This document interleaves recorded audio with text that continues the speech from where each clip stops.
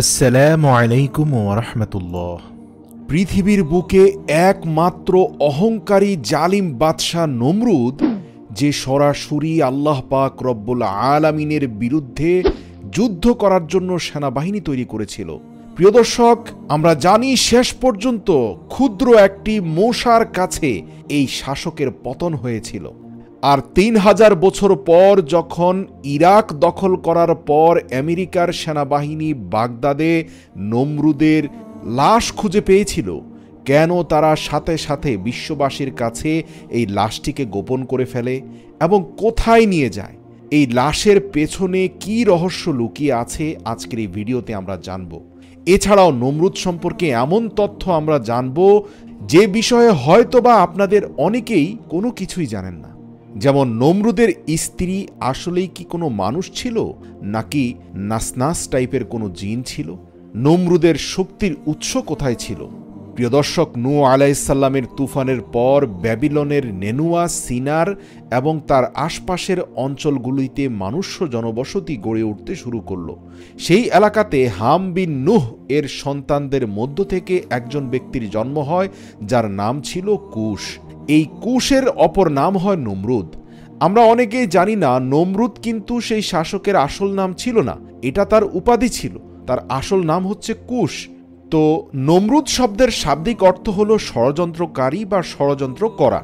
কেননা নমরুদ পৃথিবীর একমাত্র জালিম শাসক যে সরাসরি আল্লাহর সাথে যুদ্ধ করার জন্য আসমানের দিকে মিনার বানিয়েছিল এবং আল্লাহর উদ্দেশ্যে সে তীর ছুড়েছিল।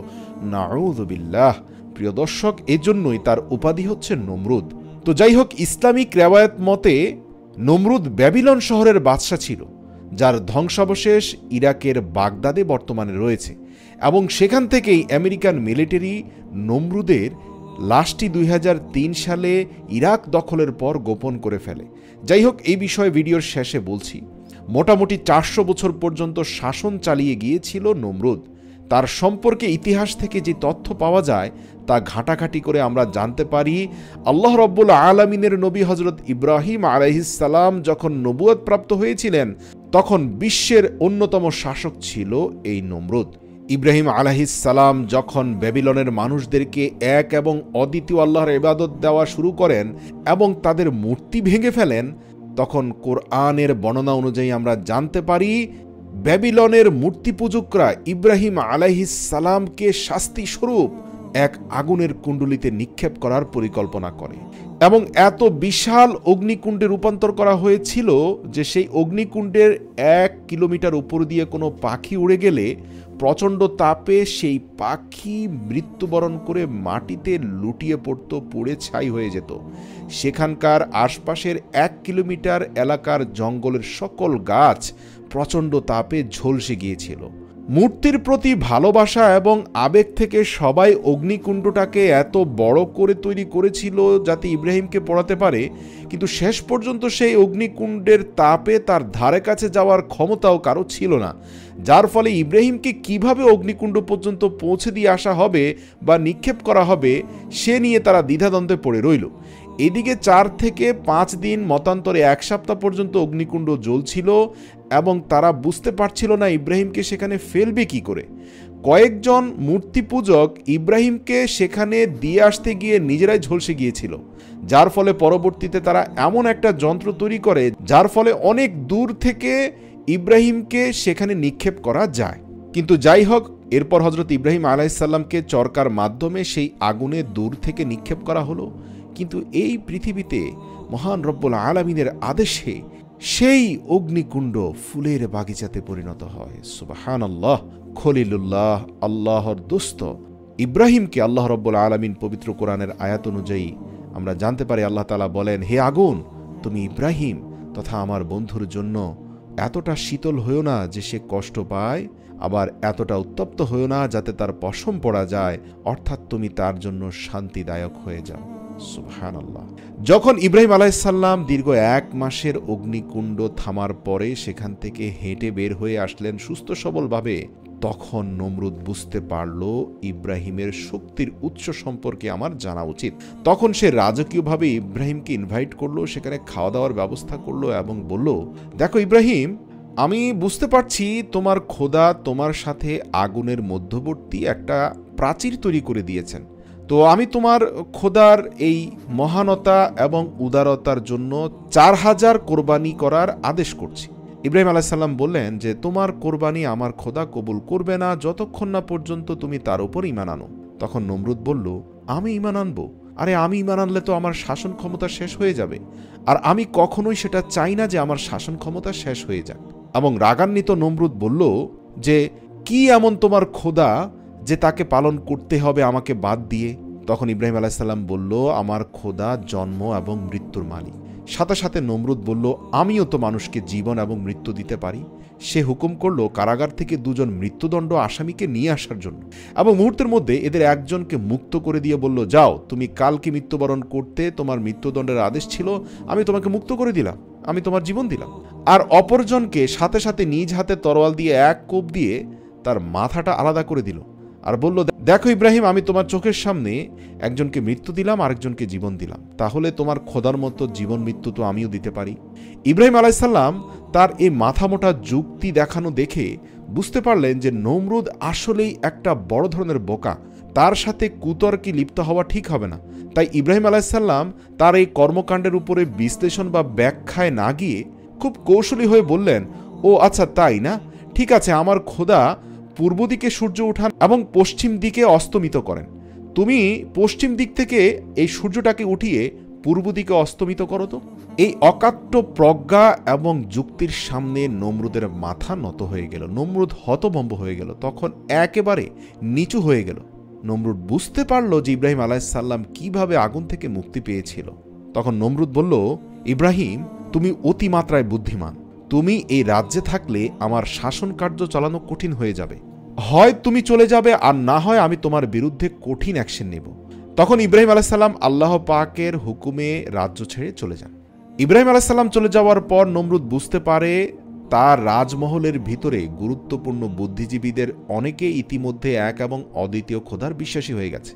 তাই সে ওপেন চ্যালেঞ্জ জানালো আল্লাহ তালাকে এবং বড় একটা প্রাচীর নির্মাণ করল মিনারের মতো করে। সেটার উপরে উঠে সে প্রকাশ্যে বলল, আমি আল্লাহর সাথে লড়াই করব। কোথায় আল্লাহ? আমার সাথে লড়াই করতে আসো। নারুদবিল্লাহিমিন জাহালিম। এবং সে দীর্ঘ চল্লিশ বছর পর্যন্ত বিশাল সৈন্য বাহিনী তৈরি করতে থাকল আল্লাহর সাথে যুদ্ধ করার জন্য। প্রতিদিন সে মিনারের উপরে উঠত, চিৎকার করে সে আল্লাহকে যুদ্ধের জন্য আহ্বান জানাতো, অতপর কোনো সাড়া শব্দ না পেয়ে নিচের দিকে তাকিয়ে মানুষজনদেরকে বলতো, বুঝতে পারছ লোক সকল, কে তোমাদের আসল খোদা? কোনো সাড়া শব্দ নেই। এই পৃথিবীর বুকে নমরুদের উপরে কি কোনো খোদা থাকতে পারে? কেন সেজদা করছ না? সাথে সাথে লোকজন ভয়ে নমরুদের সামনে সেজদা করতে থাকতো। আল্লাহ আকবর। এভাবে চল্লিশ বছর পর একদিন আল্লাহ রব্বুল আলমিন আসমান থেকে এক ফেরিস্তাকে মানুষের রূপ দিয়ে নমরুদের কাছে পাঠালেন এবং সে নমরুদকে এক এবং অদ্বিতীয় আল্লাহর এবাদত করার জন্য দাওয়াত দিল। সে নমরুদকে বলল, তুমি খোদা তালাকে ভয় করো এবং তার নাফরমানি করা থেকে বিরত থাকো। কেননা আল্লাহর শক্তি এবং কুদরত তোমার ও তোমার বাহিনীর শক্তি থেকে অনেক বেশি। যদি তিনি চান, তাহলে তার খুবই দুর্বল একটি মাখলুক দ্বারা তোমাকে বিনষ্ট করে দিতে পারেন। এমন অবস্থাতে নমরুদ সরাসরি আল্লাহ তালার বিরুদ্ধে যুদ্ধ ঘোষণা করল। সেজন্য ফেরেস্তার সাথে সাথে নমরুদকে বলল, হে নমরুদ, গত চল্লিশ বছর থেকে রব্বুল আলমিন তোমার এই সকল কর্মকাণ্ড দেখছেন। তাই তিনি তোমাকে ঘোষণা করছেন আগামী তিন দিনের মধ্যে তোমার চূড়ান্ত বাহিনী তৈরি করার জন্য, কেননা তিনি সরাসরি তোমার সাথে যুদ্ধ লিপ্ত হবেন এবং তার পক্ষ থেকে বিশেষ সেনাবাহিনী আসবে। নমরুদ সাথে সাথে সেই ব্যাটেল ফিল্ডের জন্য প্রস্তুত হলো। তিন দিন পর আল্লাহ তালার হুকুমে নমরুদের বাহিনীর উপর আল্লাহর তরফ থেকে এক মশা বাহিনী আক্রমণ শুরু করল। আর এর পরিণতি এমন হয়েছিল যে মশার আক্রমণে তার পুরো বাহিনী ব্যাধিস হয়ে পালিয়ে গেল, অনেকের পুরো শরীরে বিষাক্ত মশার কামড়ে মারা গেল। এমন সময় আল্লাহ তালার হুকুমে ওই মশা বাহিনীর প্রধান যেই মশা ছিল সে নমরুদের নাক দিয়ে তার মস্তিষ্কে প্রবেশ করল এবং সেই মশাটি নমরুদের ব্রেনের মধ্যে অনবরত কামড়াতে শুরু করল। ইতিমধ্যে মশার কামড়ের যন্ত্রণায় মাথার মধ্যে তীব্র ব্যথা অনুভব করল নমরুদ।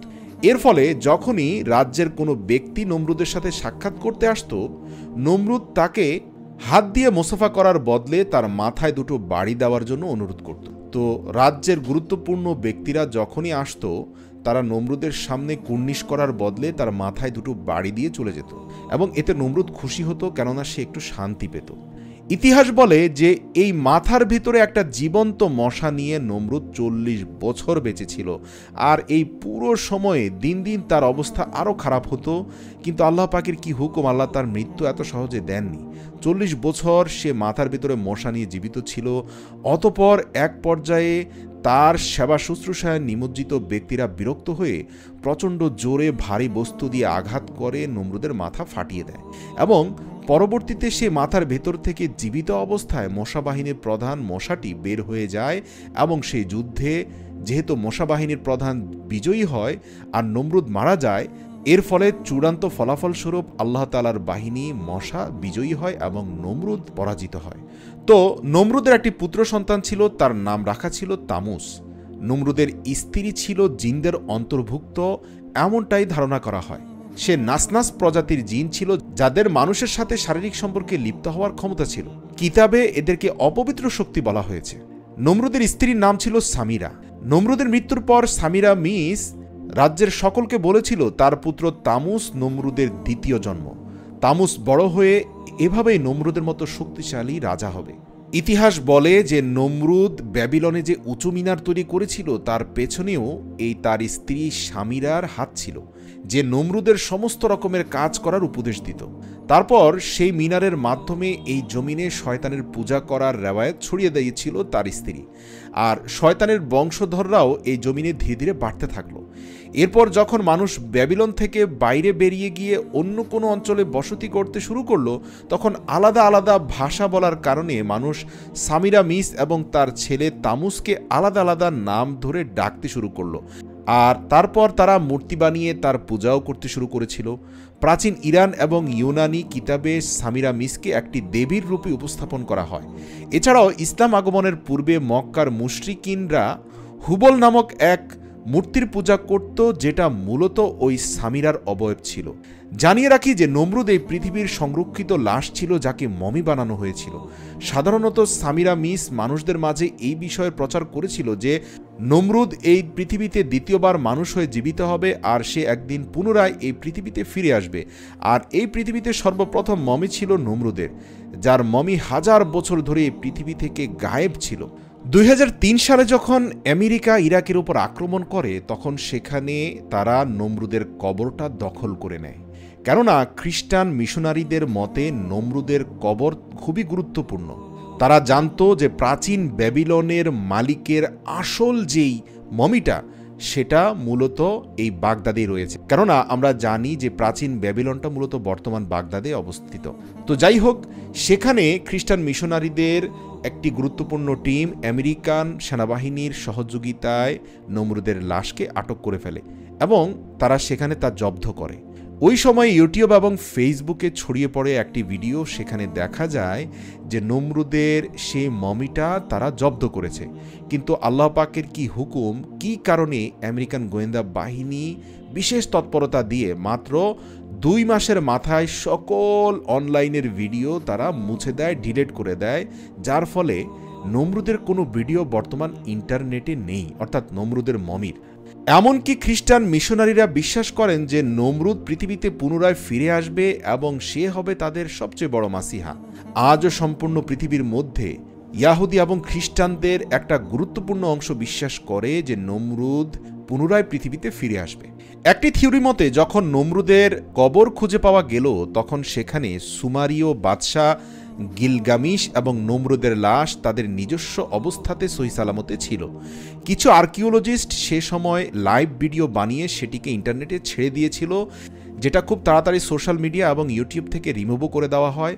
বলা হয়ে থাকে, নমরুদের লাশকে খ্রিস্টান মিশনারিরা গোপন গবেষণার জন্য নিজ হাতে তুলে নেয় এবং বর্তমানে এই লাশটি ইসরায়েলে পাঠানো হয়েছে। সেখানে হাই সিকিউরিটির মাধ্যমে এই লাশকে রাখা হয়েছে এবং পৃথিবীবাসীর কাছে এই তথ্য গোপন করে রাখা হয়েছে। এমনকি গভর্নমেন্ট অফিসিয়ালদের খুবই গুরুত্বপূর্ণ কয়েকজন ব্যতীত, আমভাবে সকল মানুষকে এর ইনফরমেশন দেওয়া হয়নি।